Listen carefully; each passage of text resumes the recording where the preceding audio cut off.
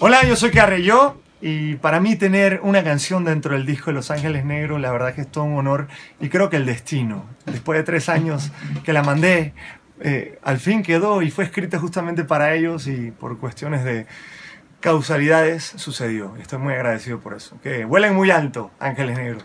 Chao. Los Ángeles Negros presentan Memorias del Alma.